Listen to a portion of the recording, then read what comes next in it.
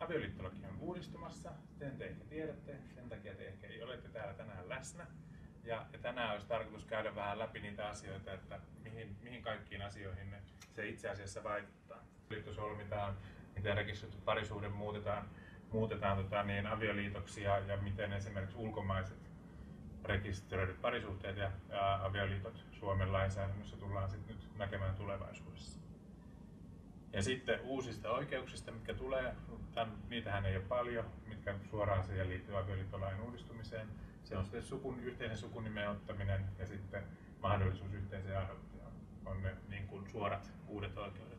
Mutta sitten lukuisia seurauksia sillä, sillä on, että se koko, koko tota niin, mikä kaikki muuttuu sen avioliittolain lain, tota, rinnalla.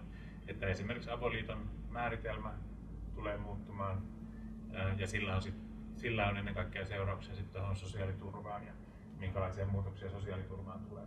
Mutta sosiaaliturvaan tulee myös muutoksia sitten myös, myös samasukupuolta olevien avioparien kohdalta. Ja sitten, no sitten se vaikuttaa myös tuohon translakiin pieneltä osin. Ja sitten tota, niin, niin no viimeksi siinä on toteamus vaan siitä, että kuinka se avioliittolaki ei kuitenkaan vaikuta vanhemmuuden määrittymiseen samaa sukupuolta olevien parien perheissä.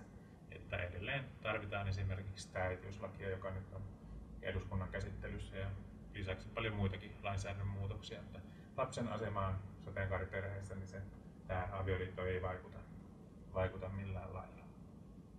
Eli nyt avioliittolaki uudistuu. Mul, mä itse asiassa suunnittelin, että mä olisin menehtinyt. Mä olisin tehdä, halunnut tähän tehdä vielä semmoisen dian, että avioliittolain pitkä historia.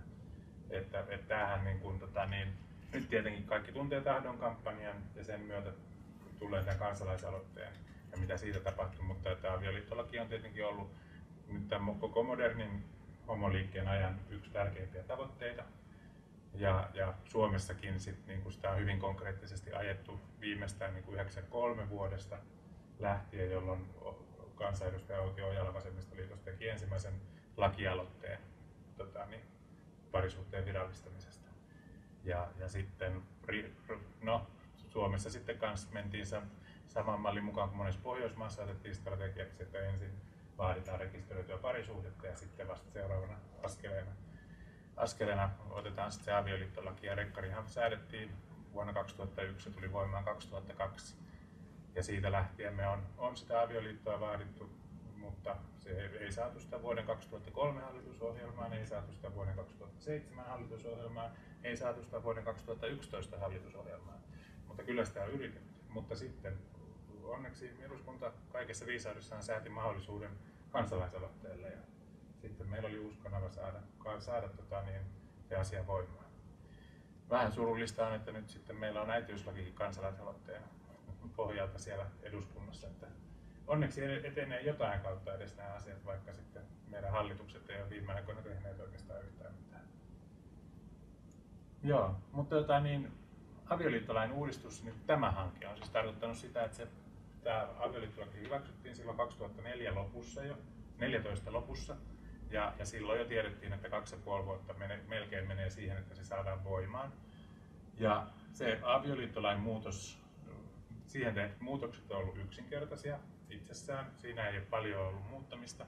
Mikä on ollut monimutkaisempaa on just ne avioliittolain liittymä, liittymät eri kaikkeen muuhun lainsäädäntöön. Ja, ja niitä, tota, ni, niitä liittymiä, näitä liitelakeja, rinnakkaisseurauksia, niin niitä on kahdessa eri lakipaketissa sitten nyt tämän hallituksen aikana valmisteltu.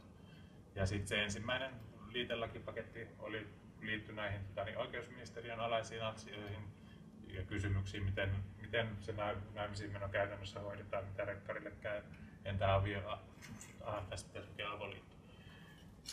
Ja ne hyväksyttiin viime vuoden alussa ja sitten loppuvuodesta viime vuonna säädettiin sitten STM valmisteleva paketti, johon liittyy sitten paljon näitä sosiaaliturvaan liittyviä kysymyksiä. Ja kun nämä tota, niin kaksi liitelakipakettia oltiin saatu hyväksyttyä, niin se tarkoittaa sitä, että nyt se vihdoin voi astua voimaan sitten reilun kuukauden päästä. No niin, sitten uuden, aloitetaan tästä, miten, miten se uusi avioliitto solmitaan. Ja se on, se on tota niin, ää, tämä on tietenkin samalla lailla kuin se tällä hetkellä menee, menee tota, niin eri sukupuolta olevien parien kohdalta. Mutta nyt se tällä hetkellä, aiemmin se oli avoin kaikille 18-vuotiaille eri sukupuolta oleville pareille, nyt se on avoin kaikille 8-vuotiaille pareille, jotka eivät ole jo ennestään avioliitossa. Ja vielä siinä itse asiassa siinä on toinen edellytys on, että ei ole lähisukulainen. Mutta siis ainoat edellytykset nyt on 18 vuoden ikä ja se, että ei ole aiemmin avioliitosta ja rekkarissa eikä ole lähisukulainen. Mutta jos ne ehdot täyttää, niin avioliitto on sitten omassa valinnassa. Ja tota, niin, ää, ennen avioliittoahan pitää tutkia avioliiton esteet. Maistraatti tekee sen kaikkien avioliittojen kohdalta. Ja siinä, se, siinä on kyse siitä, että maistraatti selvittää, onko mitään näin, tähän kohtaan liittyviä esteitä sille avioliitolle. Ja siinä menee viikon verran aikaa, kun ne selvittää sen tota, niin, väestötietojärjestelmistä. Ja sen jälkeen sitten se avioliitto voidaan solmia. Ja tota, niin, ää, maistraatti on nyt, tai itse asiassa se oli siinä liitelläkin paketissakin, otettiin semmoinen asia jo huomioon, että miten parit vois heti ensimmäinen kolmatta päästä tota, niin, solmimaan sen avioliiton. Ää, ja se, tar- se on mahdollista sen takia, että säädettiin erikseen, että tällä, jos, jos haluaa mennä ensimmäinen kolmatta avioliittoon, niin nyt tässä vaiheessa jo vaikka tänään voi maistraatin nettisivujen kautta lähettää sen pyynnön siitä esteiden tutkimisesta. Ja jos sen esteiden tutkimisen pyytää nyt, niin se tehdään rekisteröidyn parin, parisuhteen esteiden tutkintana.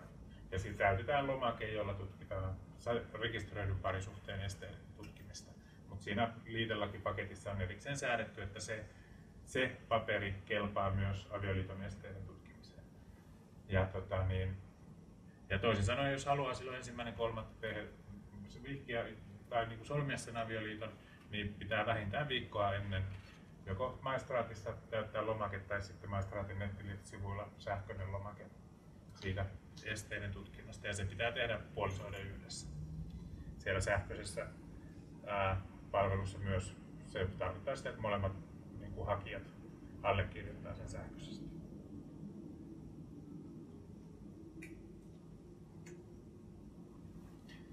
Mutta sitten itse vihkiminen, ää, se, se voi siis lain mukaan olla siviilivihkiminen tai kirkollinen vihkiminen.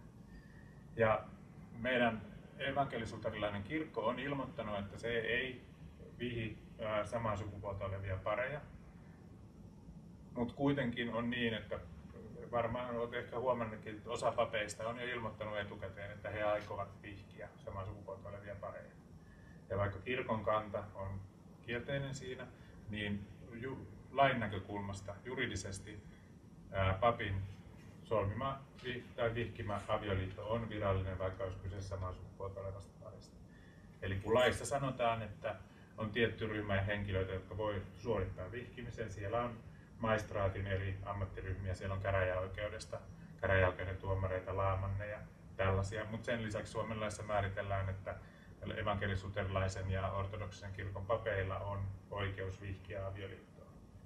Niin sen perusteella, jos pappi, jommankumman kirkon pappi vihkii saman sukupuolta olevan parin avioliittoon, niin se on laillisesti pätevä. Se, mitä kirkko ajattelee siitä, se on toinen asia. Ja mitä kirkko, minkälaisia rankaisutoimenpiteitä kirkko saattaa langettaa papille, sekin on toinen asia. Mutta se on fakta, että se kirkon papin vihkimä avioliitto on juridisesti täysin pätevä.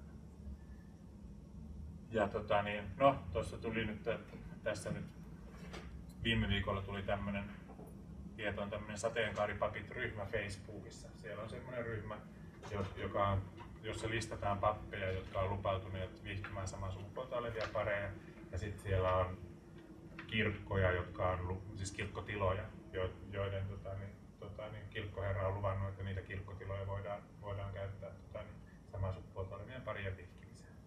Että jos, jos se kirkollinen vihkiminen tuntuu itselle tärkeältä, niin se kuitenkin käytännössä on hyvinkin mahdollista, kun näitä vapaaehtoisia pappeja on kuitenkin lukuisen määrät ilmoittanut. Mutta sitten siviilivihkiminen, niin se, no sen voi käräjäoikeudenkin ää, tota, niin, ää, tietyt ammattiryhmät tehdä, mutta yleensä siis se kuitenkin suorittaa maistraatissa ja maistraatin, maistraatin ää, toimihenkilöiden toimesta. Ja sinne siviilivihkimiseen saman sukupuolta olevat parit voi varata ajan ja nyt. Eli jos, esimerkiksi jos haluaa silloin ensimmäinen kolmatta sen päivän, niin se on mahdollista nyt jo varata. Ja tota, niin, siviilivihkiminen se on virka-aikaan, kun se tapahtuu maistraatissa, niin se on silloin maksuton. Ää, mutta sitten se, se siviilivihkiä on mahdollista myös kutsua jonnekin viikonlopputapahtumaan jonnekin muualle suorittamaan se vihkiminen. Ja silloin sitten siellä maistraatilla on käytännöt, että miten ne kulukorvaukset siitä, siitä maksetaan, mutta noin muuten se periaatteessa on maksuton sitten se vihkiminen. Ja tota, niin, no meillä on sitten tiedossa muutamia tuollaisia, tuollaisia tota, niin, ää, ensimmäinen kolmatta tapahtumia vihkimistilaisuuksia, missä on tämmöisiä joukkovihkimisiä. Vihdoinkin vihille tapahtuma. Se on itse asiassa tota, niin, helsinkiläinen teatteri, teatteri Kapsakki, joka on itse asiassa tuosta melkein kadun toisella puolella. Se on heidän tämmöinen kulttuurihanke, jossa he kehittää jonkunlaista, en tunne yksityiskohtia laisinkaan, mutta että he, he kehittää jotain semmoista niin kuin kulttuurisesti arvokasta vihkimistapaa samaa sukupuolta oleville pareille. Ja netistä varmasti löytyy siitä tietoa, jos haluaa, haluaa tota, niin semmoiseen osallistua. Ja se on, se on, se on, he on mainostanut, että se ohjelma on täysin maksuton sitten niille pareille. Ja sitten Vantaan kaupungin museossa on myös jonkunlainen joukkovihkimistilaisuus silloin ensimmäinen kolme. Siitä tiedän vielä vähemmän. Mutta sitten myös tästä nyt mainitsen samalla, että media on tällä hetkellä ihan hirvittävän kiinnostunut tuota, niin, pariskunnista, samaa sukupuolta olevista pariskunnista, jotka aikovat vihkiä solmia avioliiton silloin ensimmäinen kolmatta. Että jos teistä joku on semmoisissa suunnitelmissa ja voi ajatella myös medialle antamansa jonkinlaista haastattelua, niin saa olla yhteydessä voi olla suoraan tuonne Setan tiedottajaan Elisaan yhteydessä tai tietenkin muuhunkin, muuhunkin mutta että niitä media nyt kovasti etsii. Eli toinen, toinen tilanne on sitten se, että, että tota, niin, monet tietenkin on tällä hetkellä rekisteröidyssä parisuhteessa. Ja, ja tota, niin tuossa ensimmäisessä liitelakipaketissa just ratkaistiin näitä kysymyksiä, että miten, miten rekkari muuttuu pari avioliitoksi ja, millä ehdoilla. No, se ratkaisu on rekkarista avioon kysymys merkkiperässä. Rekkari tarkoittaa sitä, että rekkari voi muuttaa avioliitoksi, mutta rekkaria ei ole pakko muuttaa avioliitoksi. Et ei esimerkiksi tehty sellaista lainsäädäntöä, että kaikki rekkarit automaattisesti olisi muuttuneet avioliitoiksi, jolloin Suomessa ei siis enää olisi sen jälkeen ollut rekisteröityjä parisuhteita ja laki rekisteröidystä parisuhteesta olisi voitu lakkauttaa sellaista ratkaisua ei tehty. Mutta tehtiin sellainen ratkaisu, että tota, niin, pariskunnat rekisteröinyt parit saa itse päättää, että haluaako se, haluavatko he, että avio, heidän suhteensa muuttuu avioliitoksi vai haluavatko he jatkaa rekisteröitynä parisuhteella. Ja, tota, niin, ja koska sitten on mahdollista, että osa rekisteröityneistä pareista haluaa jatkaa nimenomaan rekkarissa, niin sen takia sitten Suomessa rekkarilaki tulee olemaan voimassa niin kauan kuin Suomessa sitten on yksikin rekisteröity parisuhde, niin niin kauan se laki pysyy voimassa. Mutta sitten se mahdollisuus on suljettu, että tämän maaliskuun alusta asti lähtien niin ei, ei voi enää uusia rekisteröityjä parisuhteita solmia. Et jos haluaa rekkariin, nyt on kuukausi aikaa toimia. Olisi nyt kuitenkin sit lain edessä saman arvoisia? Ei, niistä jää se ero, mikä niissä on ollut. Eli se, ne samat, niin kuin siinä, rekisteröitys parisuhde pysyy samoilla oikeusvaikutuksilla, mitä se on tällä hetkellä. Ää, ja siihen se oli se ainoa muutos on se, että siis uusia rekkareita ei enää voi solmia, mutta muuten ne rekisteröidyt parisuhteet tulevaisuudessakin katsotaan sen saman lain näkökulmasta, mitä, mitä ne on tähänkin asti katsottu. Et, mutta toisin sanoen siitä jää sitten se sukunimi ja yhteinen sukunimi ja yhteinen adoptio pois. Muuten ne oikeusvaikutukset on, on tietysti samat. Siit, siitäkin oli siellä tota, niin keskustelua silloin, kun sitä siellä valmisteltiin sitä liitelakipakettia, että miten, miten sitten se rekkarin muuttaminen avioliitoksi tapahtuisi. Ja se perusratkaisu oli se, että se ei tapahdu automaattisesti, vaan että siinä täytyy itse olla tota, niin, aktiivinen. Ja siihen, siihen että voi tota, niin sen muuttaa avioliitoksi, niin siinä on ehtona se, että se on Suomessa rekisteröity parisuhde. Kohta seuraavassa katsotaan sitten vähän mitä ää, ulkomailla solmitut parisuhteet ja avioliitot, mitä niille tapahtuu. Onko siinä joku aikaraja? Kauan? Tai mitkä päivän Ei. liikessä täytyy? Niin. Ei. Joo. Ja siihen ei ole, niin aikaa. Ja se siis tapahtuu sillä, että tehdään yhteinen hakemus maistraattiin. Siihen pitää olla molempien puolisoiden yhteinen hakemus.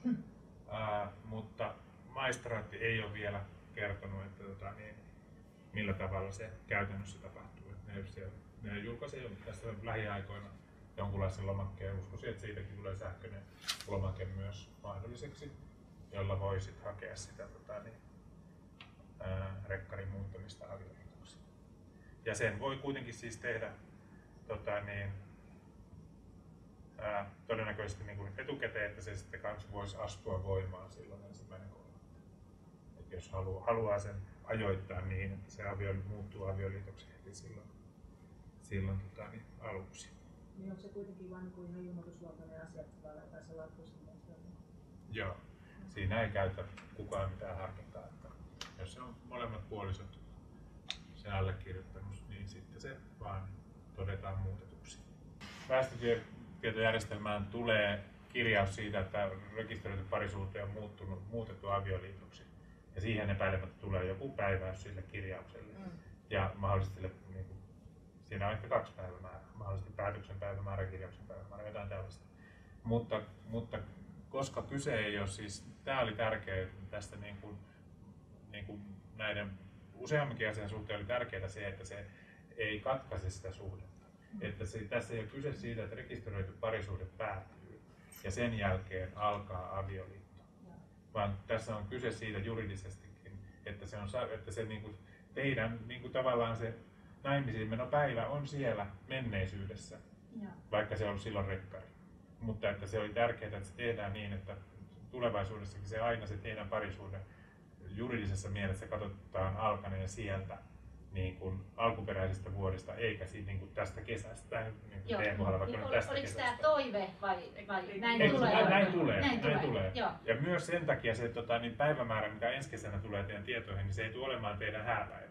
Eikä se tule olemaan teidän suhteen alkamispäivä, niin kuin virallisessa mielessä. Joo. Se tulee olemaan ainoastaan se päivämäärä, jolloin tällä, tämmöinen niin kuin muutos on niin kuin tämmöinen, tavallaan tämän, teidän parisuhteen muodon nimi muutetaan, mutta se Joo. teidän vi- virallistettu suhde on alkanut silloin sitten, milloin te Joo. alun perin sen virallistatte. Joo. Eli nyt sitten uskaltaa ennen lapsen syntymää niin muuttaa, että perheen sisäisen adoption kannalta se se parisuhde katsotaan. Joo, niin kyllä, joo. No se toi on yksi asia, mistä niin kuin hyvä esimerkki siitä, että siis se saattaa se, että kuinka kauan se suhde on ollut voimassa, niin se saattaa vaikuttaa johonkin sosiaalietuuksiin, se saattaa vaikuttaa mahdollisesti johonkin maahanmuuton tai maastamuuton kysymyksiin, mutta esimerkiksi just perheessä adoptiossa on, on ehtona, että jos on ennen lapsen alulle saantia, niin parisuhde rekisteröitynyt, silloin kyllähän se parisuhteen perheen adoptio on silloin mahdollinen, mutta siitä poistuu se kahdeksan viikon harkinta-aika.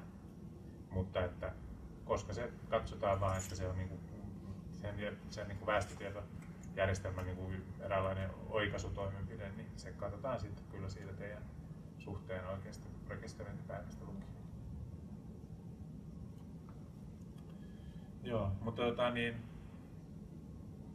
sillä, tosiaan sillä on, sillä on kuitenkin tässäkin niin kuin, tuli tosi hyvä esimerkki, mikä voitaisiin kanssa ottaa tuonne kyllä yhtenä esimerkkinä varmaan tuonne Setankin nettisivuille siitä, että minkälaisiin asioihin, minkälaisiin erilaisiin asioihin sillä on merkitystä, että onko se on päättynyt, ei kun alkanut se avioliitto nyt vai sitten joskus silloin menneisyydessä. Joo, kun mä tutkin niitä ja sitten ei ihan ollut varmoja, että miten se menee. Joo. Uskaltaako lähteä ennen vai pitäisikö lapsen syntymän jälkeen vasta ja sitten kun adoptio tehty, niin, Niin, sitten vasta. joo, joo, joo. Mutta sitten se tapauksessa. Joo, kyllä se siellä siinä liitelakipaketissa, niin hallituksen perusteluissa on nimenomaan niin kuin keskusteltu ja av- avattu sitä, että tämä on haluttu tehdä näin, jotta ne oikeusvaikutukset al- alkaisi liittyisi nimenomaan siihen alkuperäiseen rekisteröintipäivään.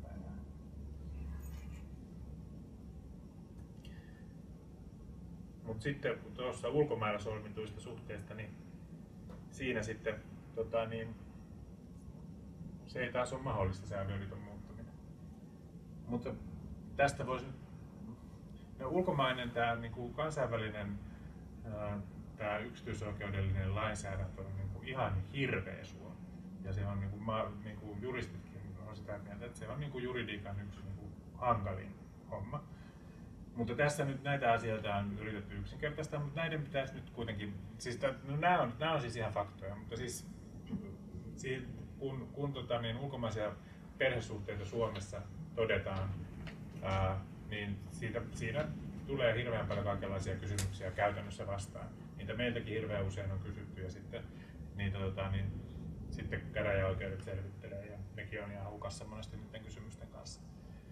Mutta, tota, niin, mutta nämä asiat on kuitenkin tässä nyt ihan selkeitä ja faktoja, että ulkomainen avioliitto, siis puhutaan samaa sukupuolta olevien avioliitosta, ulkomainen avioliitto tunnustetaan jatkossa Suomessa avioliittona. Eli esimerkiksi Ruotsissa joskus kolme vuotta sitten tota, niin, sidot, solmittu miesparin avioliitto, niin jatkossa täällä merkitään rekistereihin avioliittona. Kun tällä hetkellä se on nyt merkitty Suomen rekistereissä rekisteröitynä parisuhteena. Ja, ja sille on Suomessa myönnetty ne oikeusvaikutukset, mitä on rekisteröidylle parisuhteelle. Että vaikka niin kuin Ruotsissa on ollut mahdollista yhteinen adoptio, mutta jos suomalainen, ruotsalainen pari muuttaa Suomeen, se on täällä katsottu rekkarina, sillä ei ole edes. Se on niin kuin siinä muutoksessa menettänyt sen mahdollisuuden siihen adoptioon. Mutta tulevaisuudessa ne ulkomaiset avioliitot tunnustetaan avioliittona. Sitten ulkomailla solmittu rekkari tunnistetaan jatkossakin täällä rekkarina. Se olisi ollut tietenkin mahdollista, että ne olisi täällä tulkittu avioliitoiksi, mutta tota, niin sitten tuohon se perustelu ministeriössä oli se, että koska ulkomaiset, ulkomaiset lait rekisteröidystä parisuhteesta on keskenään erilaisia, niin siitä tulisi tämmöistä jotain niin kuin, niin kuin,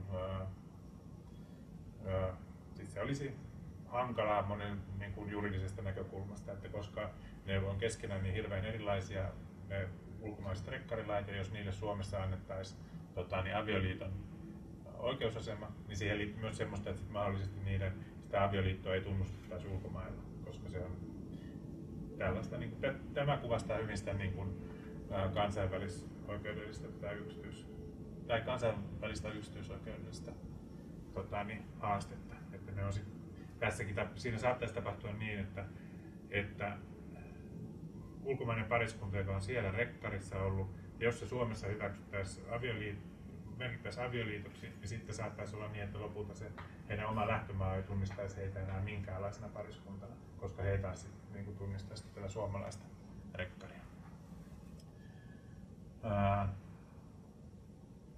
Mutta sitten tosiaan, jos ulkomailla on mennyt rekkariin, niin se täällä Suomessa tunnustetaan rekkarina, Ää, mutta sitä ei voi, niin kuin äsken tuli edellisestä voi päätellä, että ulkomailla rekisteröityä parisuhdetta ei voi muuttaa avioliitoksi hakemuksella. Ja sit siihen me itse pyrittiin kovasti vaikuttamaan, että tota, niin, se, se olisi voitu sekin muuttaa tota, niin, hakemuksella. Ja miksi se olisi ollut tärkeää, se, tota, niin, että senkin olisi voinut hakemuksella muuttaa. No, tässä tuli just näitä esimerkkejä esiin. Koska nyt siinä käy niin, että että tota, niin, ulkomailla solmittu rekisteröity parisuhde täytyy jollain tavalla päättyä, jotta voidaan solmia uusi avioliitto. Ja silloin se, se suhteen alkamispäiväksi tulee se uuden avioliiton solmimisen ajankohta ja sillä on näitä vaikutuksia. Se voi liittyä johonkin sosiaaliturvaetuuteen. No, se on rahallista. Mutta sitten entä sitten, jos se liittyy esimerkiksi johonkin maasta muuton tai maahanmuuton kysymyksiin? että onko esimerkiksi oikeutta jonkun, kun, kun joskus maahan, maassa oleskelun oleskeluluvan ehtona on tietyn mittainen parisuhde ja tämän tyyppiset kysymykset, niin niissä se sitten rupeaa olemaan jo sitten hyvinkin vakava kysymys, että miten se, miten se tulkitaan. Mutta tota, niin tämä on se tehty ratkaisu, että sitä ei voi muuttaa avioliitoksi, että on solmittava uusi liitto, mutta maistraatti ei ole vielä, se lainsäädäntö ei sitä vielä tota, niin, kerro, että mitä se käytännössä tapahtuu. Ja, ja tota, niin maistraatti tiedottaa siitäkin nyt kuitenkin nyt ennen, ennen kuin laki astuu voimaan, mutta siitä ei ole tarkempia yksityiskohtaisia tietoja. Että jos tosiaan on, on niin, että jos meillä on vaikka ajatellaan tätä ruotsalaista miesparia, joka on solminut avioliiton Ruotsissa kolme vuotta sitten. Ja sitten he on muuttaneet Suomeen ja täällä heidän parisuhteensa on kirjattu meidän väestötietojärjestelmään rekisteröitynä parisuhteena. Ja nyt sitten kun tulee tota, niin, uusi avioliittolaki voimaan, niin heidätkin voidaan sitten, niin kun, he, heillä on mahdollisuus olla avioliitossa. Mutta että he ei voi hakea sitä sen avioliiton muuttamista, tota, niin, he ei voi hakea sitä muuttamista avioliitoksi, koska se on ulkomailla rekisteröity. Mutta tämä, tämä asia tiedostettiin siinä lainvalmistelun vaiheessa jo. Ja sitten siihen tota, niin, on tämmöinen mahdollisuus, että jos et si, si, tää niin kun, et jos se on sinne kirjattu väestötietojärjestelmään rekkarina, niin asianomaiset voi itse pyytää maistraatista, että tämä, tämä niin kuin, ää, rekisterimerkintä oikaistaan. Et siinä kysy, silloin ei ole niin kuin, sama, kun nyt ei kysy rekkarin muuttamisesta avioliitoksi, vaan on kyse siitä, että avioliitto on merkitty ensin jonakin tapana, mutta nyt pyydetään oikaisua siihen niin kuin väestökirjamerkintään.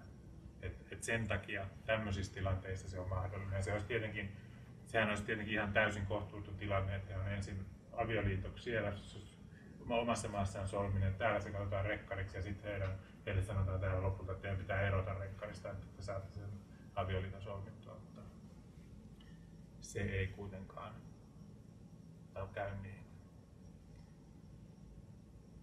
No sitten nimi ja adoptio. Ja sukunimi, nyt se oli se tota, niin toinen oikeusvaikutus, joka nyt muuttuu. Ja, ja tota, niin, rekkarissa siis ei ole ollut ottu, oikeutta ottaa samaa sukunimeä, koska kiusa se on pienikin kiusa. Se oli silloin rekkarilakia säädettäessä konservatiiveille tehty pieni myönnytys, että, että niin kun ne oikeusvaikutukset ei ole täysin identtiset. Ja tota, niin, ää, no ei ne ole tietenkään identtiset sen tota, niin adoption suhteen olleet. Ja, ja silloin alun perin, kun rekkari säädettiin, niin myös perheensisäinen adoptiohan ei ollut mahdollinen. Se on ja myöhemmin siihen tullut mahdollisuus. Et silloin kun rekkari säädettiin, niin oli, oli ne asiat, että ei, ei sukunimeä, ei adoptiota, ei perheen sisäistä eikä ulkoista. Ja tota niin, mutta sitten käytännössä kuitenkin se on ollut nimilautakunta, sit, kun samaa sukupuolta olevat parit on hakenut yhteisen sukunimen, tota niin, hakenut yhteistä sukunimeä tota niin, ää, tuolta ää, nimilautakunnalta. Se on täytynyt tämmöisellä hakuprosessilla tehdä, niin kuitenkin nimilautakunta on ottanut sen linjan, että ne on aina, aina ne on pitäneet sitä rekisteröityä parisuhteena, parisuudetta aina niin kuin asiallisena perusteena sille, että ne on myöntänyt sen, sen luvan. Mutta että se on pitänyt hakea erikseen ja siitä on tullut esimerkiksi lupamaksu, joka sitten taisi päätösmaksu. Tota, niin kysyn ihan käytännön asia. Meillä taitaa olla täällä on vähän liiankin viileitä, pitäisikö on muuta tota, niin... Tää ei ole kyllä, tää ei kyllä viileellä, mutta että kuitenkin vähän viilettä. Mä laitoin sen päälle, jos täällä on paljon ihmisiä, niin, tota, niin me en halua happi. Mutta meitä ei ole nyt niin paljon. Joo, tota niin, ää, mutta nyt siis jatkossa vihkimisen yhteydessä voi niin kuin kaikki muutkin parit niin ilmoittaa yhteisen sukunimen. Ja, ja sitten niin kuin muilla pareilla, niin joko niin, että molemmat ottaa saman sukunimen, tai sitten se, se joka ottaa sen toisen puolisen nimen, niin sillä on mahdollisuus sit ottaa yhdistelmän. Suomessahan ei voi ketkään pariskunnat ottaa molemmat yhdistelmän että se ei ole Suomen lain mukaan mahdollista. Tosin nimilakia ollaan just uudistamassa ja siinä sen myötä saattaa tosi hyvin tässä lähivuosien aikana tulla mahdolliseksi sitten yhteinen, yhteinen yhdysnimikin tai yhdistelmänimi. Mutta tällä hetkellä toinen on yhteinen tai sitten se toinen ottaa yhdistelmänimen. Ja sitten niin kuin kaikilla muilla, niin sen oman sukunimen vaan voi niin kuin antaa toiselle. Et jos sä oot saanut sun sukunimen avioliiton kautta jotain toiselta, niin sä, sä et voi sitä, sitä niin kuin toiselta saatua sukunimeä ei voi edelleen antaa niin uudelle puolisolle. Ja, tota, niin, ja se on maksuton toisin kuin mitä rekkari aikana on joutunut siitä maksamaan. Mutta sitten myös on erikseen säädetty se, että jos hakee sitä rekkarin muutosta avioliitoksi, niin siinä samalla kun hakee sitä tota, niin, muutosta, niin siinä voi ilmoittaa siitä ää, sukunimen, yhteisen sukunimen käyttöönotosta ja se on kanssa nyt maksutonta sitten. Että saa nyt vähän kuin jälkikäteen sitten maksuttomana sitten rekkarinkin sen sukunimen. Onkohan tähän jotain?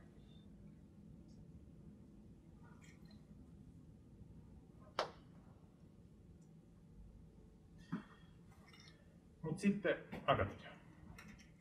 Ja yhteinen adoptio on siis, ei ole rekkarissa ollut mahdollinen samaa sukupuolta oleville pareille. Ja nyt avioliittolain uudistumisen myötä se tulee samaa sukupuolta oleville pareille mahdolliseksi. Ää, mutta se jää edelleen varmaan hyvin harvinaiseksi tavaksi lapsiperheellistyä. Esimerkiksi Pohjoismaissa on ollut ihan yksi, on ollut sijoituksia, adoptiolasten sijoituksia samaa sukupuolta olevien parien perheisiin, mutta ne, ne on jääneet kaikissa muissa Pohjoismaissa ihan yksittäisiksi, yksittäisiksi sijoituksiksi. Ja kohta paneudunkin sitten vähän siihen, että mikä, mikä, mikä on se haaste siinä adoptiossa, vaikka se nyt tulee, tota niin, se tulee nyt käytön, niin kuin teoriassa mahdolliseksi. Ja se, mihin tulee oikeus nyt avioliittolain uudistumisen myötä, on se, että, että tota, niin, voi tulla harkituksi adoptiovanhempana. Eli kenellekään ei tietenkään nyt tule oikeutta tulla adoptiovanhemmaksi, ei tule oikeutta saada adoptiolasta, vaan tulee oikeus tulla harkituksi adoptiovanhemmaksi. Ja tota, niin, sitten adoptiossa tietenkin on kyse perheulkoisessa adoptiossa kotimaisesta adoptiosta tai ulkomaisesta adoptiosta ja molempiin, molempiin liittyy omia haasteita, jotka tuossa seuraavassa diassa sitten avaa. Mutta tota, niin, me on katsottu tärkeäksi, että me nyt myös niin kun, kun, kun tiedotetaan tästä adoptiomahdollisuuden yhteisen adoption avautumisesta teoreettisessa mielessä, niin ollaan katsottu, että se on tärkeää, että myös näitä realiteetteja sitten tiedotetaan vähän ihmisille yhtä aikaa. Ja tota, niin, yhtä kaikki, vaikka se ei kovin monelle tule olemaan lähivuosina se väylä vanhemmuuteen, niin kuitenkin sitä tota, niin, ää, adoptiovanhemmaksihan kannattaa kuitenkin kaikkien kiinnostuneiden yrittää hakea. Ihan siitäkin suunnasta, että se luo painetta viranomaisten ja näiden adoptiopalvelun tarjoajien suuntaan siihen, että tulevaisuudessa, tulevaisuudessa ne lapsen sijoituspäätökset ei olisi, ei olisi syrjiviä, että ne tehtäisiin mahdollisimman niin kuin, ää, avoimesti adoption, sen lapsen etua ajatellen ja, ja, ja, tota, niin, ja myös, että saataisiin luotua esimerkiksi ulkomaisille ulko, niin kontakteja tähän ulkomaiseen adoptioon, josta kohta voidaan tehdä lisää. Mutta tota, niin, adoptioprosessi, kuvaus, se on tässä hyvin tiiviisti kuvattu. Adoptioprosessi on sellainen, että ensin adoptiohakijat käy adoptioneuvonnan. Adoptioneuvonta on tämmöinen yleensä 6-12 kuukauden mittainen jakso, kun, kun sosiaalityöntekijä tapaa perhettä joko pariskuntaa tai sitten jos on yksi itsellinen hakija, niin sitä yksilöä tapaa useamman kerran tämän jakson aikana ja, ja sitten siihen sisältyy aina vähintään yksi, yksi tota, niin, ää, kotikäynti esimerkiksi. Ja sen, sen tota, niin adoptioneuvonnan aikana selvitellään niin kuin edellytyksiä adoptiovanhemmaksi. Siihen on adoptiolaissa määritelty monenkinlaisia tota, niin, edellytyksiä, mutta sitten siinä myös selvitellään sellaista niin kuin kykyä vanhemmuuteen tai niin kuin edellytyksiä siihen niin kuin ihan vanhem, vanhempana toimimiseen. Ja sitten sen jälkeen, kun se adoptioneuvonta 6-12 kuukauden prosessi on käyty läpi, niin sen jälkeen laitetaan adoptiolautakunnalle hakemus. Ja adoptiolautakunta on tämmöinen Valviran alla toimiva elin, joka sitten käsittelee nämä lupahakemukset. Ja siinä tota, niin vanhemmat, siis ne ei, adoptiohakijat laittaa sen lähettää sen hakemuksen, jossa he hakee sitä itselleen adoptiolupaa. Ja sitten sen, sen tota, niin hakemuksen liitteeksi tulee sen sosiaalityöntekijän selvitys siitä adoptioneuvonnan aikana. Ja, ja siinä sosiaalityöntekijä kertoo minkälaiset, minkälainen perheen tilanne ja mikä on hänen oma arvionsa. Ja sen pohjalta sitten tota, niin, adoptiolautakunta tekee sitten päätöksiä. Jos päätös on myöntävä, niin pari, pariskunta tai yksilö saa adoptioluvan ja se adoptiolupa tarkoittaa sitä, että, että tota, niin sen jälkeen ää, sosiaalityöntekijät voi harkita tätä paria tai yksilöä adoption vanhemmiksi. Et siinä vaiheessa pääsee sinne, siellä on joukko, joukko tota, niin perheitä, joilla on adoptiolupa, ja, ja sitten tota, niin sen jälkeen sosiaalityöntekijät pyrkii tekemään sellaisia sijoituspäätöksiä, että, että tota, niin, jossa siis otetaan huomioon ennen kaikkea sen yksittäisen lapsen, kun siellä on se yksi lapsi, jolla on tietynlaiset tarpeet ja tietynlaiset tota, niin, niin haasteet, tietynlaiset tota, niin, ää, lähtötilanteet, niin hänelle yritetään etsiä semmoinen perhe, joka olisi hänelle just paras. Ja tässä harkinnassa ei pitäisi olla merkitystä sillä, että onko se pariskunta eri sukupuolta vai samaa sukupuolta, vaan se pitäisi tehdä sen perusteella, että arvioidaan sitä lapsen tarpeita ja adoptiohakijoiden kyvykkyyttä ja, ja, ja erityisiä valmiuksia vastata juuri tämän tietyn lapsen tarpeeseen. Ja tota, niin, mutta sinne adoptioneuvontaan hakeutaan kysymällä oman kunnan sosiaalitoimesta ja osa kunnista järjestää sosiaalisen tämän adoptioneuvon itse. Aika iso osa kunnista tota, niin ostaa sen palvelun Pelastakaa lapsilta, joka Suomessa tekee paljon adoptioneuvontaa. Ja, tota, niin, ja tosiaan se adoptio, adoptioneuvonta on, on kaikille avoin mahdollisuus, siihen on oikeus, siitä ei voi tota, niin, kunnat tai Pela kieltäytyä antamasta sitä samaa sukupuolta oleville pareille. Ei edes vaikka he olettaisivat, että lasta ikään sijoitetaan tulla Onko tuota toi neuvonta niin maksullista? Ei, se on, se on maksutonta. Mutta sitten kun puhutaan kansainvälisestä adoptiosta, niin sitten kansainvälisen adoption ne palvelut ne on maksullisia, mutta siinäkin se neuvonta-osio on ilmainen. Mutta et silloin kun luetaan kansainväliseen adoptioon, niin siinä sitten niin kuin suomalainen palvelun tarjoaja toimii niin kuin välittäjänä, agenttina ja niin ne, ne palvelut on maksullisia. Ja, tota, mutta, ja sitten kaikki siihen liittyvät niin kuin esimerkiksi lapsen hakeminen sieltä ja kaikki nehän maksaa rahaa. Mm. Mutta tosin Kela, Kelasta voi hakea adoptioavustusta, joka on maasta riippuen, siis adoptiomaasta riippuen joku muistaakseni vain 3 ja 9 tonnin välillä. Että se kattaa niitä kuluja, mutta se ei missään nimessä kata kaikkea. Mm. Mutta adoptioneuvonta on maksusta.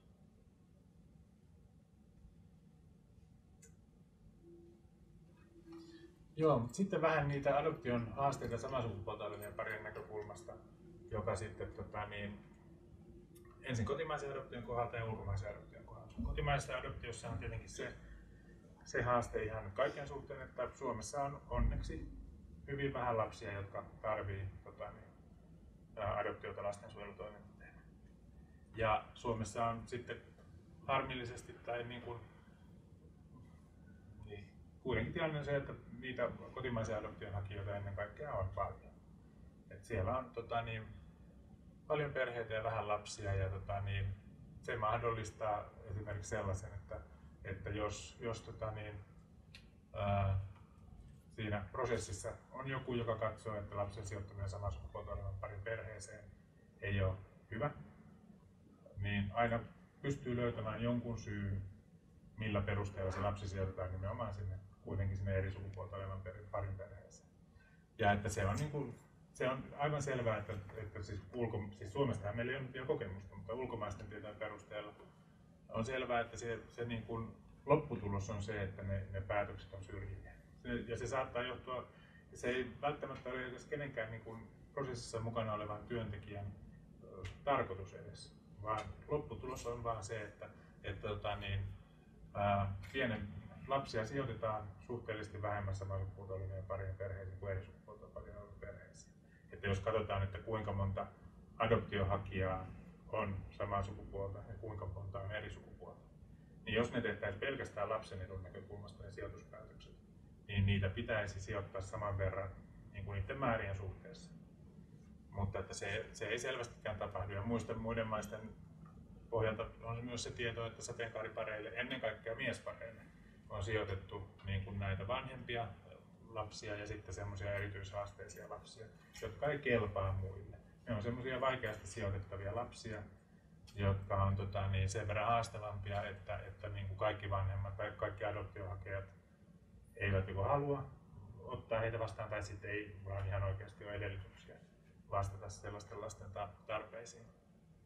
Mutta, tota, niin, ja miespareille siksi, koska miesparit on niin kuin selkeästi sit kuitenkin se, se niin kuin, varmasti niin kuin pelottavin perhe sosiaalityöntekijöille sijoittaa lapsia.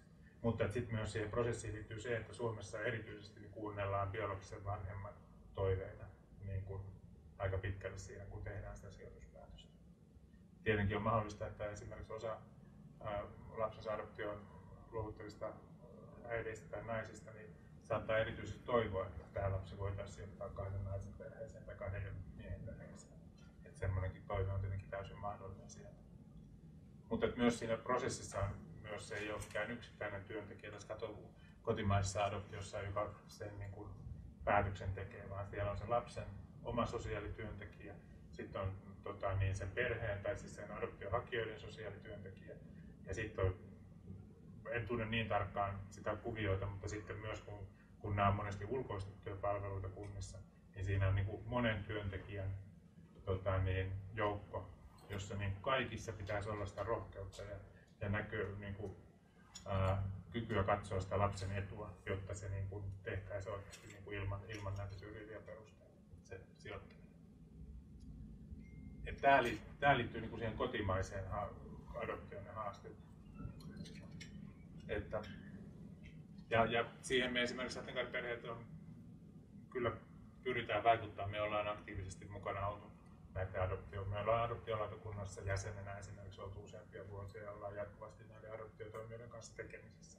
Et ei, ei he ole näitä asioita päässeet unohtamaan. Ja, ja meillä on ollut yksi sellainen hanke haussa, joka liittyy perhehoitoon, mutta myös tähän adoptioneuvonnan kehittämiseen. No, ei ole saanut sillä rahoitusta, ja kun saadaankin, niin siinä kestää vielä joku vuosi ennen kuin me saadaan niitä ihmisiä niin kuin koulutettua, mutta kuitenkin näihin, näihin tota, niin, haasteisiin yritetään vastata. Mutta sitten tota, niin, kotimaisessa adoptiossa nyt ei pitäisi, niin kuin ei ole mitään ää, tämän jälkeen enää oikeudellisia esteitä eikä tämmöisiä niin kuin, käytännöllisiä esteitä, mutta tota, niin, toi ää, ulkomainen adoptio sitten, niin ää, siinä lähtökohta on se, että se ulkomainen, ää, se lapsen alkuperämaa ja se alkuperämaan työntekijät, sosiaalityöntekijät tekee aina sen sijoituspäätöksen. Et suomalaiset ei, toimijat ei tee niitä päätöksiä millään tavalla. Et täällä tehdään se adoptioneuvonta ja sitten ne adoptiohakemukset lähetetään, täällä haetaan myös adoptiolupa, mutta sitten ne hakemukset lähetetään sinne tota, niin, kohdemaiden ää, adoptiotoimijoille ja he siellä sitten harkitsee sen, että mikä perhe on tälle lapselle hyvä. Ja tota, niin, sitten asia monimutkaistaa se, että maailmassa on vain muutama semmoinen maa, joka luovuttaa lapsia adoptioon, jonka niin kuin, joka sallii sen maana ja lainsäädäntönä nämä tota, niin sijoitukset samaa sukupuolta olevien parien perheisiin. Ja niitä nyt on ää, käytännössä Etelä-Afrikka, tällä hetkellä Etelä-Afrikka, Brasilia, Kolumbia ja Meksikosta jo osa osavaltioista. Mutta tämä on se pieni joukko niitä maita, jotka luovuttaa lapsia kansainväliseen adoptioon, jotka sitten sallisivat sen teoriassa.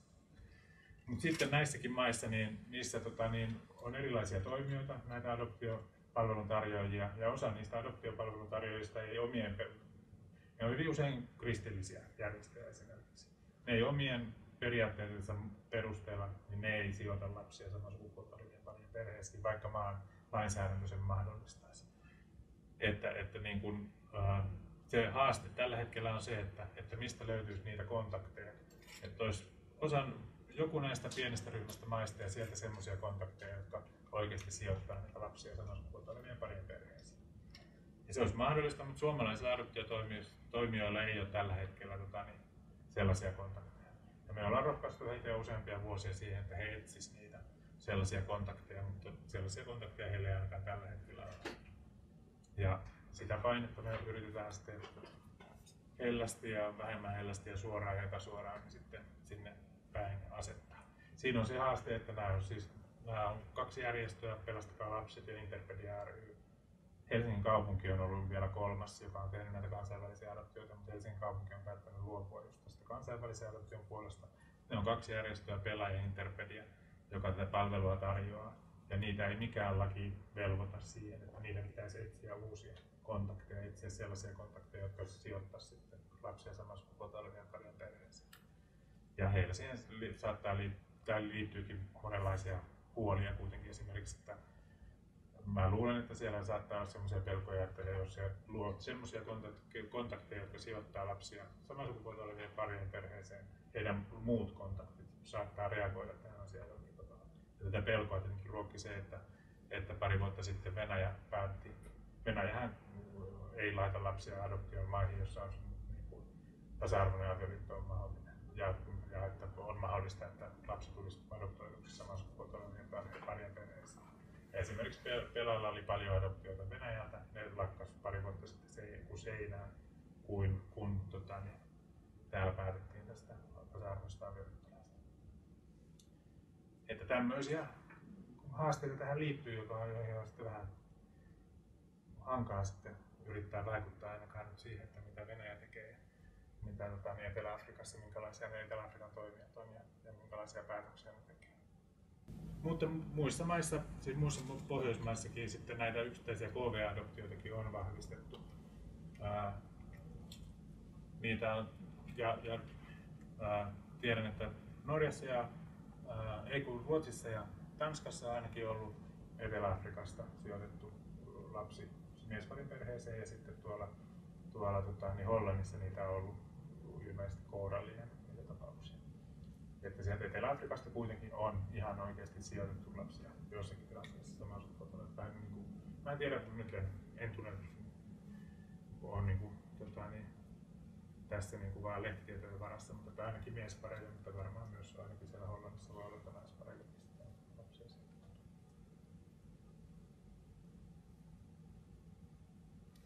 Joo. Haasteita on, mutta tota, niin, niihin pyritään vaikuttamaan ja, ja sitten yhtä kaikki niin muiden Pohjoismaiden esimerkin mukaan niin yksittäistapaukset ovat täysin mahdollisia. Ja tota, niin, niin Aini olihan mulla tässä tämmönen vieläkin vielä, että tosiaan se adoptioneuvontaan hakeutuminen on kaikkien oikeus ja sitä kannattaa käyttää, jos adoptio kiinnostaa. Noilla adoptiopalvelun tarjoajilla ja sitten adoptioneuvonnan tarjoajilla ja sitten kunnilla on monesti myös tämmöisiä Pride-koulutuksia. Ja tämä Pride-koulutus, vaikka se kuulostaa niin sateenkaarivalta, niin se ei ole kuitenkaan sateenkaarikoulutusta, vaan se on Pride-koulutus, joka on tämmöinen ää, adoptiovanhemmuuteen, mutta myös sijaisvanhemmuuteen valmentava koulutus. Ja, ja siinä, siinä, se on niin kuin tarkoitettu sekä molemmille, sekä adoptiohakijoille ja sijaisvanhemmuutta harkitseville. Et se on myös semmoinen vaihtoehto, mitä, mitä sitten ne tarjoaa tuolla adoptioneuvonnan aikana viimeistään, mutta myös niihin Pride-koulutuksiin voi hakeutua, vaikka ei vielä menisi adoptioneuvontaan. Ja siellä Pride-koulutuksissa kerrotaan niistä kahdesta mahdollisuudesta ja pohditaan. Tota, ja, ja ne on tarkoitettu myös siihen, että siellä voi, siellä voi myös pohtia sitä, että sopiiko nämä väylät tota, niin meille. Mutta että sen adoptioneuvonnankin sitten aikana on nimenomaan yksi tarkoitus on se, että sen aikana pohditaan yhdessä myös hakijoiden kanssa, että onko tämä teille just nyt oikea vaihtoehto. Ja sitten monet myös adoptioneuvonnassa käyneet, adoptioneuvonnassa olleet, niin päätyy kuitenkin sen adoptioneuvonnan aikana harkitsemaan sijaisvanhemmuutta ja lähtee, lähtee, päättävät lähteä tota, niin, kokeilemaan sitä, että, että, että tulisiko heistä niin kuin, sijaisvanhempia lastensuojelun tota, niin, huostaanoton lapsille, joka tarvii siis perhehoitoa. Toistaiseksi niin kuin sateenkaaripareja tai perheitä on niin kuin, toiminut kourallinen, sanoisin viisi, ehkä vähän enemmän. Perheitä on vielä ollut niin kuin koko Suomessa niin kuin, sijaisvanhempina. Mutta nyt kun niitä on ollut ja noilla tota, niin, pelalla ja sitten kunnilla on niistä tota, niin, tilanteista ja kokemuksia, niin ne selvästi rupeaa pikkuhiljaa vähän rohkaistumaan siihen. Mutta tota, niin se on Suomessa sekin vielä hirveän vähäistä, koska esimerkiksi Britanniassa ää, tuli just tietoa viime vuonna kesänä, että, että siellä perhehoito, perhehoitajista noin, siis se oli jotain suurin piirtein 12 prosenttia, niin on tavalla tai toisella niin kuin sateenkaaren ja sateenkaariperheellisiä. Et siellä on niin kuin todella otettu niin kuin tämä potentiaali käyttöön. Mm. Koska sitten tota, niin Suomessakin tietenkin on paljon samaa sukupuolta olevia pareja, ja yksilöitä, jotka toivoo sitä vanhemmuutta, jolla ei ole välttämättä hirveän paljon, paljon tota, niin, todellisia mahdollisuuksia siihen. Ja sen takia sitten monet vois harkita myös sitä sijaisvanhemmuutta. Mutta täällä sitä ei ole.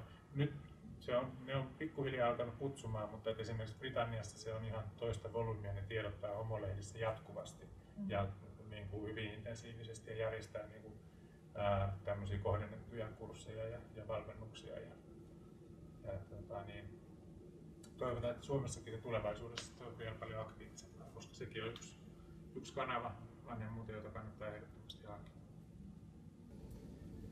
No, tota, niin, no sitten näitä tota, niin, sivuvaikutuksia meillä sitten olisi vielä näitä, näitä, mikä muuttuu tässä sitten tämän varsinaisen avioliittolain sivussa. Ja, ja tämä, tämä on yksi merkittävin muutos. Avoliiton määritelmä muuttuu samalla.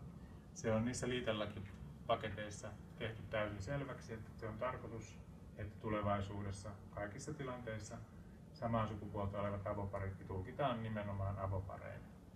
Ja, ja tota, niin, tähän asti se tulkintakäytäntö on ollut sekava ja lainsäädäntö on ollut keskenään ristiriitaista. Osassa lainsäädäntöä on huomioitu samaa sukupuolta olevat avoparit. Jossain laissa, laissa on tunnustettu ainoastaan eri sukupuolta olevat parit avopareina. Ja sitten on ollut sellaisia lakeja, joissa sitä, se ei ole ollut lain kirjaimesta selvää, ja niitä on saatettu tulkita sitten suuntaan tai toiseen. Ja tämäkin sekä se, tämä kirjava käytäntö on liittynyt tästä toisestakin kiusa, se on toinenkin pieni kiusa.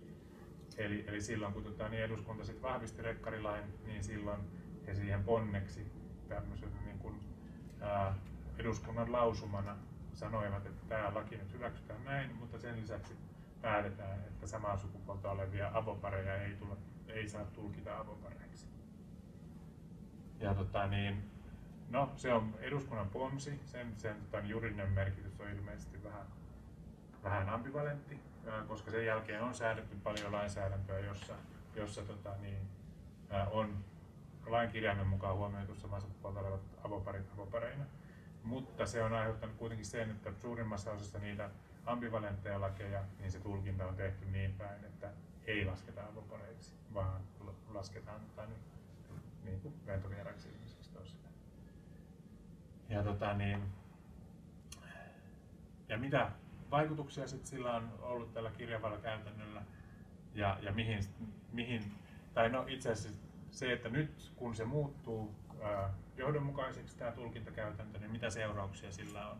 Ja nyt tällä muutoksella on ennen kaikkea muutoksia sosiaaliturvaan ja, käyn, ja nimenomaan avoparien sosiaaliturvaan, jota mä käyn tuossa kohta seuraavaksi läpi.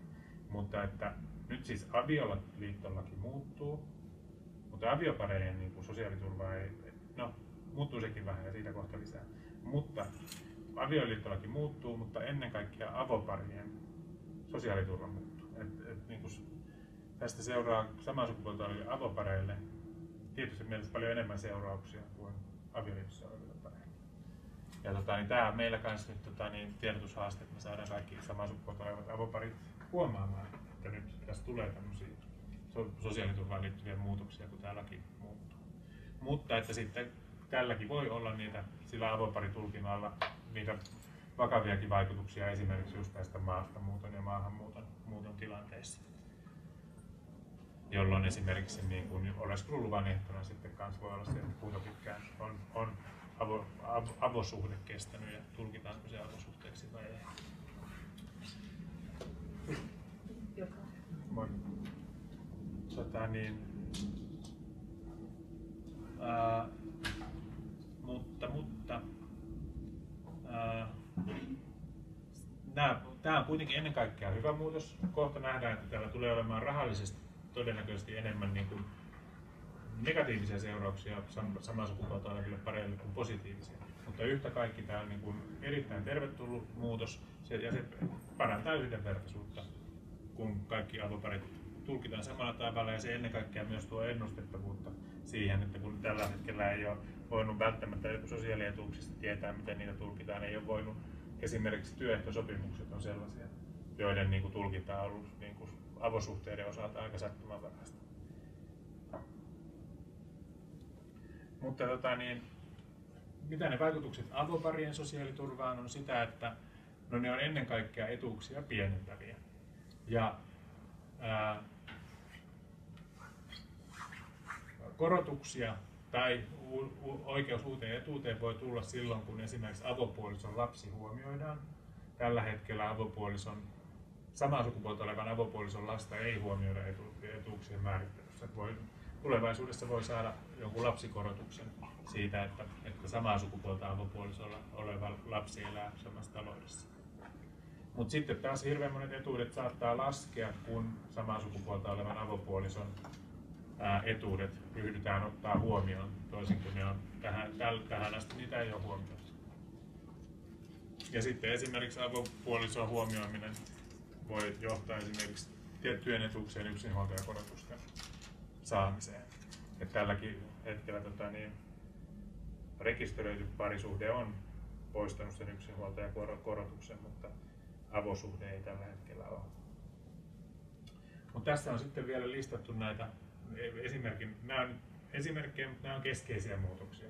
Siinä siellä on tullut vielä, näyttävä, se vaikuttaa moneen muuhunkin asiaan kuin näihin. Mutta lapsin, lapsilisän yksinhuoltajakorotukseen ei enää tulevaisuudessa ole oikeutta, jos vanhemmalla on samaa sukupuolta oleva avopuoliso, ja nyt koko ajan puhutaan avopuolisoista. Et rekisteröity tota, niin puoliso on poistanut jo tähän asti sen yksinhuoltajakorotuksen, mutta avopuoliso ei. Sitten lasten kotihoidon tukeen tai yksityisen hoidon tukeen, niin siihen määrään saattaa vaikuttaa se, kun samaa sukupuolta olevan avopuolison tulot otetaan huomioida. Erityishoitoraha, jota saa tota, niin, ää, tietyissä tilanteissa, esimerkiksi sairaalapsen hoitoon, niin siihen tulee aiemmasta poiketen oikeus myös silloin tota, niin, samaa sukupuolta olevan avopuolison lapsen hoitamiseksi. Tällä hetkellä ei ole ollut mahdollisuutta jäädä avopuolison lasta hoitamaan. Sitten työttömyysetuuteen voi saada lapsikorotuksen tulevaisuudessa, mutta sitten taas muut työttömyysturvalain muutokset voi vaikuttaa niin päin, että etuus pienenee. Et tässäkin näkyy se, että osa niistä korotuksista nostaa, ja osa näistä muutoksista kun nostaa niitä etuuksia ja osa niistä laskee. Ja sitten no, työ, työlainsäädännön, työttömyysturvalain osalta, niin sit se avoliiton tulkinta voi vaikuttaa myös, myös niin kuin esimerkiksi sellaisilla tavoilla, että kuka katsotaan yrittäjäksi. Että onko sä yrittäjän puoliso vai tulkitaanko sut yrittäjän puolisoksi vai eikö sua tulkita yrittäjän puolisoksi, niin se vaikuttaa sun työttömyysturvaan. No sitten kansaneläkkeen määrä pienentyy kaikilla samaa sukupuolta olevilla avopareilta. Pareilla. Toisaalta jos avopuolisolla on alaikäinen lapsi, niin sitten taas siihen kansaneläkkeeseen voi saada lapsikorotuksen. No sitten tämä vaikuttaa, tulee varmaan vaikuttaa niin kuin aika paljon samaa sukupuolta olevien avoparien tilanteeseen, mutta myös mahdollisesti niin kuin samaa sukupuolta olevien kämppiksien tilanteisiin. Että yleisessä asumistuessa ei enää jatkossa ole mahdollista katsoa samaa sukupuolta olevia avopuolisoita eri ruokakuntiin kuuluviksi. Tästä nyt kirjoitellaan aina vähän väliä, että miten niin kuin tähän mennessä eri sukupuolta olevat kämppikset on saanut todistella Kelalle, että ollaanko me avopuolisoita vai eikö me olla avopuolisoita. Niin tämä saattaa johtaa siihen, että sitten tulevaisuudessa sitten yhä useampi samaa sukupuolta olevakin kämppis pääsee tätä samaa asiaa todistelemaan. Jännittävää nähdä. Mutta joka tapauksessa, niin kuin, jos on aidosti avopuoliso, niin silloin sen on tarkoituskin ja sen on, pitääkin vaikuttaa siihen, että, että lasketaan samaksi ruokakunnaksi. Mutta tällä hetkellä vielä kuukauden ajan Kela ei tulkitse niitä samaa ruokakuntaa. Sitten toimeentulotuen määrään saattaa tärkeä varmasti vaikuttaa samaa sukupuolta olevan avopuolison tulkintapuolisona. Mutta sitten tässä on vielä lopuksi tämmöisenä esimerkinomaisena, että se vaikuttaa monen muuhunkin eläkkeensaajan asumistukeen. Sitten on asumiseen perustuvaan sosiaaliturvaan. Se tarkoittaa siis sitä, että kenen tulkitaan voivan nauttia suomalaisesta sosiaaliturvasta silloin, kun asuu ulkomailla ja, ja tämän tyyppisiä kysymyksiä, mikä voi olla erittäin merkittävä. Siellä voi olla tosi iso asia. Mutta sitten se vaikuttaa maatalousyrittäjien eläkkeeseen, maatalousyrittäjien lomituspalveluun ja tota, niin, turkistuottajien lomituspalveluun. Ja vielä jos joku haluaa poronhoitajien sijaisavustusta hakea, niin se vaikuttaa siihen. Että näitä sitten, olkaa sitten varovaisia, kun haette poronhoitajien sijaisavustusta. Mutta tämä on se pointti, mitä me avopareille halutaan saada läpi ja nyt kirkkaasti. Ilmoita avopuolisosi Kelaan. Nyt kun laki muuttuu, niin samaa sukupuolta olevan avo, avopuoliso vaikuttaa niihin useisiin etuuksiin. Ja jos sitä itse ei ilmoita Kelaan, niin Kela jatkaa niiden tota, niin etuuksien maksamista samanlaisena kuin ne on nyt, mutta uuden lain aikana ne on väärin perustein maksettuja. Ja jos sulle ensimmäinen kolmatta jälkeen maksetaan jotain etuutta niin, että Kela ei tiedä sun avopuolisosta, niin se etuus voidaan periä takaisin. Se on väärin perustein maksettua etuutta ja se voidaan viiden vuoden ajalta perua takaisin. Ja tämä on hirveän epäreilu tilanne, mutta minkäs teet? Ei tätäkään tota, niin, saatu väännettyä mihinkään muuhun muotoon tuossa valmistelun aikana. Mutta siis kaikkien, joilla on sama sukupuolta oleva avopuoliso ja jotka nauttii Kelan jostain etuudesta, niin täytyy nyt viimeistään sitten maaliskuun tienoilla niin ilmoittaa Kelaan itse omatoimisesti, että mulla on sama sukupuolta oleva avopuoliso ja ottakaa se huomioon tässä etuudessa. Ja sitten tämä on vielä kans super epäreilua. Monet on varmaan joskus niin kuin vaikka kaksi vuotta sitten ilmoittaneet, hei mä haen tätä etuutta ja mun avopuoliso on tämä ja tämä henkilö, joka on tämän niminen ja se on tämän sukupuolinen. Ja Kela on, se on, se on saattanut etuudenhakija laittaa sen siihen hakemukseen, mutta Kela ei ole kirjannut sitä mihinkään, koska Kelalla, Kelalla ei ole ollut niin kuin, luokkaa, mihin sitä kirjata. Kela, ja sillä ei ole ollut merkitystä sen etuuden kannalta. Niin Kela ei ole niitä vanhoja ilmoituksia kirjannut. Että vaikka olisi itse jo aikoinaan alun perin sitä etuutta hakiessa ilmoittanut siitä asiasta, niin ei auta. Nyt se täytyy ilmoittaa uudestaan Kelalle. Ja tota, niin, miten se käytännössä voi kaikista helpoiten tehdä, niin Kelan asiointipalvelussa, siis nettisivuilla on Kelalla asiointipalvelu, johon nettipankkitunnuksilla kirjaudutaan ja siellä voi omiin henkilötietoihinsa tehdä sen muutoksen, jossa ilmoittaa, että kuka on mun avopuoliso. Pitääkö siis jokaisen tehdä se erikseen vai riittääkö, että tavallaan perhekunnasta yksi ilmoittaa, että tämä on minun puolisoni ja sitten ne tiedot kirjautuu niin kuin molempien tietoihin? No toi, toi voitaisiin tsekata, kai kirjattu ylös. Mutta olettaisin, siis se, se, se on ainakin Kelan kanssa käyty läpi, että kun sen ilmoittaa, niin se menee kaikkiin eri etuuksiin, että jos sä nautit monesta etuudesta. Mutta tarkistetaan tuo vielä varmuuden vuoksi, että tuleeko se samalla kirjautuneeksi myös sen avopuolison tietoihin. Joo, ja sen ilmoituksen voi tehdä nyt. Siis nyt Kela ottaa ne ilmoitukset vastaan. Ja se on nyt mahdollista sinne Kelan systeemiin kirjata. Ja Kelahan tästä niin kuin, Kela on aina hirveän helppo syyttää kaikesta, mutta Kelahan vaan noudattaa lakia.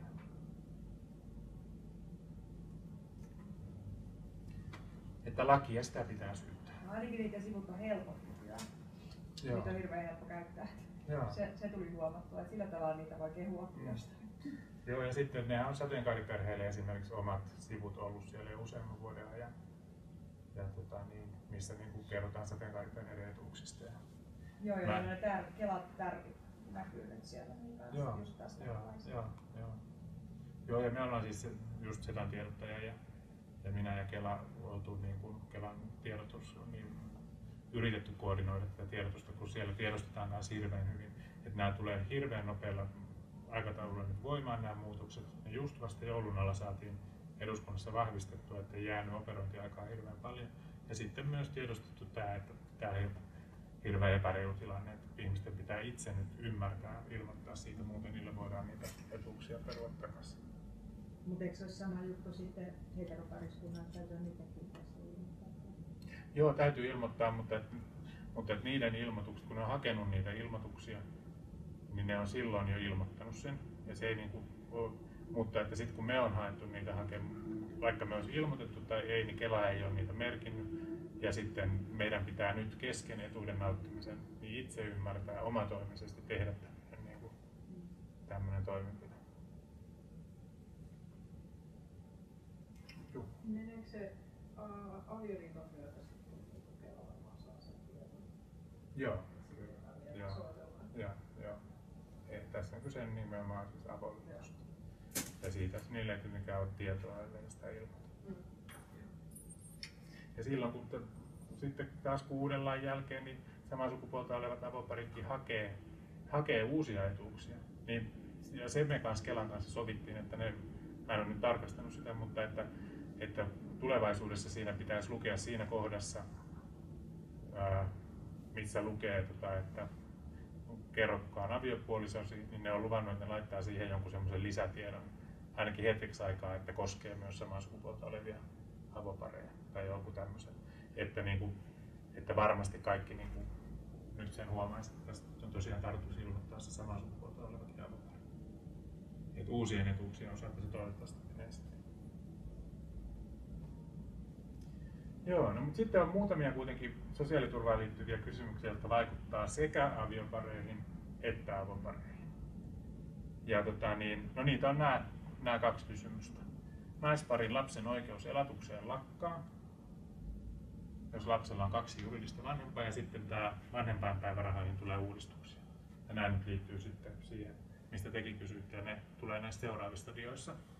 Mutta ensin tämä naisparin lapsen oikeus elatustukeen, ja tällä hetkellä naisparin lapsella on ollut oikeus elatustukeen, Kelan maksamaan elatustukeen, vaikka lapsella olisi ollut kaksi äitiä, kaksi juridista vanhempaa.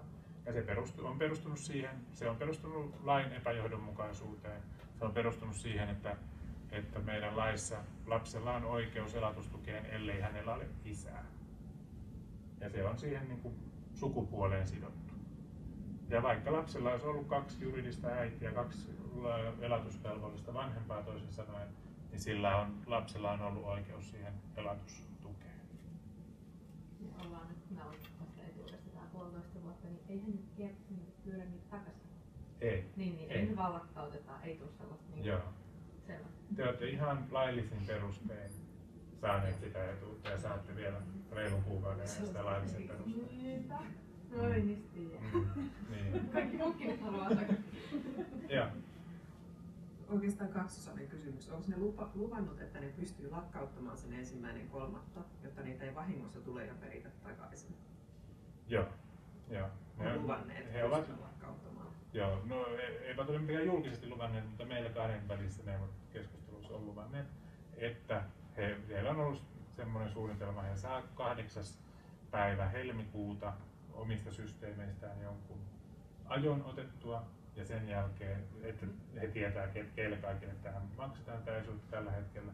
Ja he on olleet sitä mieltä, että he sen loppu helmikuun aikana ehtii tehdä ne päätökset, kun ne tekee ihan viranomaispäätöksen siitä lakkauttamisesta kaikkien perheiden kohdalla. Ja kaikki, jotka sitä etuutta nauttii tällä hetkellä, niin saa sen päätöksen kotiin. Ja, ja, ja se kerrotaan heille, tässä ei käy myöskään niin, että joku ei tiedä siitä, että se lakkautetaan. Tosin tämä varoitushan tulee nyt aivan hirveän lyhyellä ajalla. Että niin kuin jos niin kuin perhe saa helmikuun 28. päivä päätöksen, että ensi kuussa ei muuten enää tulekaan sitä elatusta. Niin se on ihan, ihan, tota, niin, ihan järjetön tilanne, mutta tota, niin, lainsäätäjä ei suostunut säätämään siirtymäaikoja, vaikka sitä kovasti vaan. Ja siis se, siihen olisi mun mielestä ollut hyvät perusteet. Se on kuitenkin merkittävä rahasumma ja sen lakkauttaminen yhtäkkiä kahden päivän varoitusajalla, niin ei meidän mielestä tota, niin, ollut, tota, niin, siinä ei toteudu etuudensaajien oikeusturva. Ja lainsäätäjäkin otti huomioon tämän oikeusturvan näkökulman, mutta tyytyi siihen, että, että perheiden oikeusturvan niin kuin, takaamiseksi on tarpeen, että tiedotetaan. Tiedotetaan perheitä mahdollisimman hyvin. Mutta ei sekään nyt sitten se, ei, siis se on, sitä nyt on yritetty me tässä tiedottaa ja Kela on sitä tiedottaa, mutta se on nyt, se, tämä ei ole missään nimessä mitenkään hyvissä ajoin, kun sitä nyt tammikuussa ja helmikuussa tehdään sitä tiedotusta. Mutta näin se ikävä kyllä nyt menee. Silloin ensimmäinen kolmatta lakkaa. Ja, mutta meidän nähdäksemme sen pitää mennä. Mutta yksittäisten perheiden kohdaltahan se on, se on tietenkin iso, saattaa olla iso kysymys, se on sen verran merkittävä kuitenkin etuus, varsinkin pienivaraisessa perheessä ja useamman lapsen perheessä, niin se on, se on merkittävä rahasumma ja sen sopeuttamiseksi aina, ainakin olisi toivonut, että siinä olisi ollut paljon pidempi siirtymäaika. Millainen summa se on ollut? Se on joku 150 euroa per lapsi. Eikö vaan? Sinänsähän se on hieman epäreilu tähänkin mennessä, mutta on ainakin mielletty sen että se on hieman korvannut niitä kustannuksia, jotka sitä lapsen hankinnasta on aiheutunut. Joo, kyllä me siis niin kuin, meillä on paljon ylimääräisiä kustannuksia niin kuin, ja myös niin kuin, monissa etuuksissa vähän toiseen suuntaan epäreiluja, niin se on varmasti ollut ihan oikein kohtuullista ja paikallaan, että se nyt on ollut näin. Mutta että se on myös, niin kuin, näinhän se pitää mennä, että kaikkia pariskuntia samalla tavalla sitten tulevaisuudessa sitten kun kaikki on ratkaistu, niin sitten palvellaan, kohdellaan kaikkia yhdenvertaisesti. Mutta sitten tota, niin, näistä vielä sitten näistä vanhempainvapaan muutoksista. Ää, eli siis nyt puhutaan niistä, ää, niistä tota, niin sairausvakuutuslain vanhempainpäivärahoista, joita on siis äitiyspäiväraha, joka, jonka lapsen synnyttänyt henkilö käyttää. Ja sitten on vanhempainpäiväraha, joka on se 163 päivää, jonka voi vanhemmat keskenään päättää, kuka sen jakaa. Ja sitten on sukupuolen mukaan miehelle kiintiöity isyysvapaa, paitsi että sitä sitten naisparien tilanteessa voidaan, voi myös toinen äidistä käyttää. Mutta katsotaan siis näistä, näistä kolmesta etuudesta, jotka kuuluu samaan siihen vanhempainpäivärahan kokonaisuuteen. Näistä, näistä nyt on kyse. Ensin äidin, äidin tai naisparin vanhempainvapaat, mitä muutoksia niihin on tulossa. Tällä hetkellä äidin puolisolla on oikeus vanhempainrahaan vain rekkarissa. Eli avopuolisoilla ei ole ollut sitä mahdollista. Vanhempainrahan jakamiselle on ollut vaatimuksena tuo rekkari. Ja sitten isyysrahalle, isyysrahan käyttämiselle siihen, että toinen äiti on voinut käyttää isyysrahaa, niin siihen on ollut vielä lisävaatimuksena se, että sisäinen adoptio on täytynyt olla vahvistettu. Et sitten vasta se on voitu myöntää. Kun taas kaikki muiden pariskuntien osalta siellä ja ehtona on ollut ainoastaan äidin kanssa eläminen, äidin kanssa avoliitossa tai avioliitossa eläminen. Mutta nyt, nyt se uudis, tää, tää, näiden perheiden osalta tämä uudistus tarkoittaa sitä, että nyt tulee samat ehdot kuin muilla, eli vanhempainrahaan on oikeus avio- ja avopuolisoilla. Et se tarkoittaa siis sitä, että jos elää äidin kanssa avoliitossa ja asuu, se tarkoittaa tämän tulkinnan mukaan, että asuu myös äidin kanssa, niin silloin on oikeus vanhempainrahaan sukupuolesta riippumatta. Sekä miehellä että naisella, joka elää äidin kanssa, niin on oikeus siihen tota, niin vanhempainrahaan. Ja isyysrahaan ei, ei myöskään ole enää muita vaatimuksia kuin sen äidin kanssa avioliitossa elämään. Ja tota, niin, tämän lisäksi, että avopuolisoille tuli oikeus näihin molempiin asioihin, niin tarkoittaa myös sitä, että sekä avioliitossa että avoliitossa niin äidin puoliso on tulevaisuudessa oikeutettu isyysrahaan heti lapsen syntyessä. Että toisin sanoen nyt kun tähän asti, kun sille on ollut ehtona se perheen sisäisen naisparien kohdalla, sille on ollut ehtona nais, se perheen sisäisen adoption vahvistaminen ennen kuin on voinut saada sitä isyysrahaa, niin se on tarkoittanut sitä myös, että, että tota, niin, se äidit ei ole voinut saada sitä etuutta siihen syntymäyhteydessä. Hirveän monet naisparit on se saanut sovittua työnantajan kanssa niin, että se vapaa on pidetty silloin heti syntymän yhteydessä, mutta se oikeus siitä rahasta on tehty päätös vasta myöhemmin ja rahat tullut vasta. Mutta nyt se on selkeää, että siihen on oikeus jo heti lapsen syntyessä. Oliko näihin? Mä, mulla, mä yritän tuohon kahdeksaan tähdätä, että loppuisi silloin, kun on luvattu, että kahdeksalta loppuu. Niin harpon eteenpäin sitten, jos ei käsiä nouse ylös.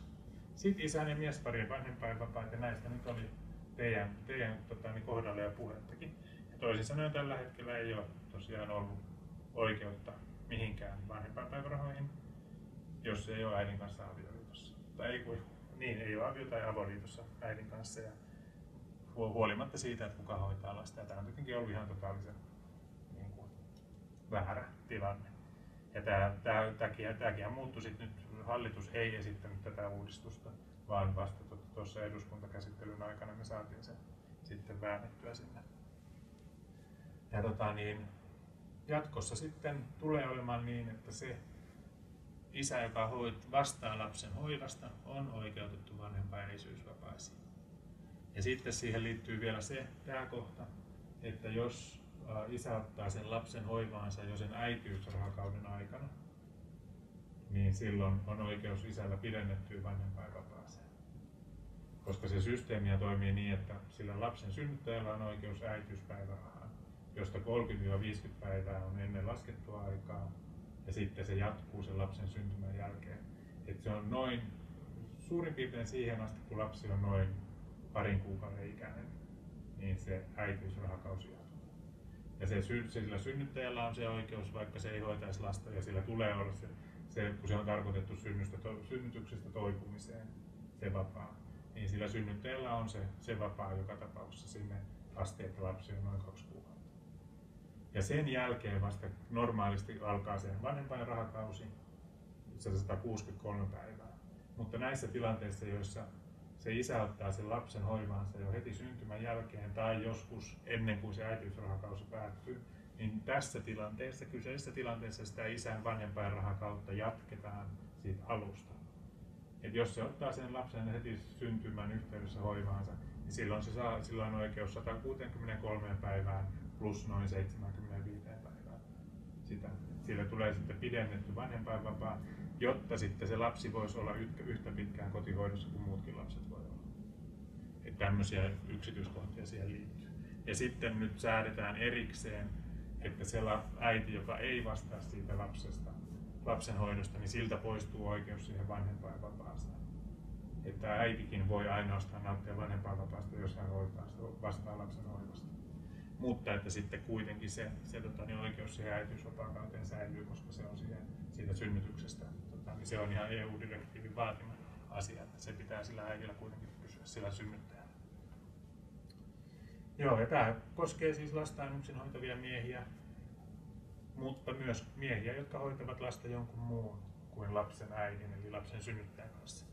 Esimerkiksi miespareja, mutta tässä meillä on toinen esimerkki, missä, mi, mi, mihin tämä soveltuu, tämä, tämä, niin uusi puoli. Joo, mutta sitten taas vielä, jos ajatellaan isän aviomiestä tai isän rekisteröityä puolisoa, niin niillä, he, hänellä on oikeus perheenvapaisiin ainoastaan sitten, jos lapsen tota, niin, toi perheensä adoptio on vahvistettu. Ja tämä koskee nyt sitten sua myös ihan vastaavasti. Että niin kuin äidillä, äidin puolisolla on oikeus, äidin avopuolisolla on oikeus pelkästään sen, sen perusteella, että hän asuu äidin kanssa. Mutta isän puolisolla ei ole vastaavaa oikeutta. Ehkä katsotaan mikä seuraava askel on mitä tulevaisuudessa tulee olemaan. Mutta tämän uudistuksen perusteella niin isän aviomiehellä tai rekisteröidyllä puolisolla tai muulla puolisolla niin on se rekkarin jälkeen.